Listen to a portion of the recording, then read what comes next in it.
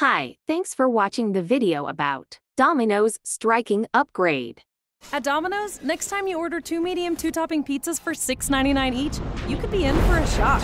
Because hundreds of new electric vehicles are rolling out to deliver Domino's across America. You're good. I'm great. At Domino's, next time you order two medium two topping pizzas for $6.99 each, you could be in for a shock.